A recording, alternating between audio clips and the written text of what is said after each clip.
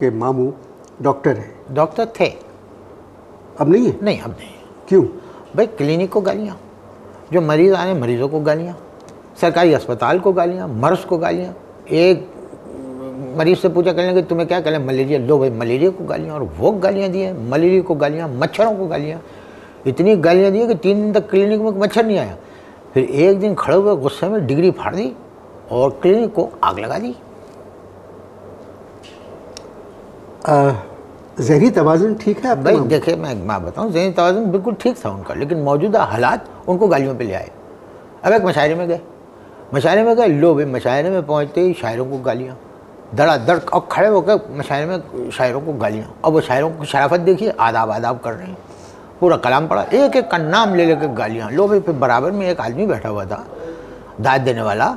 लो भाई उसको उन्होंने रैपट लगाना शुरू कर दिया दे मार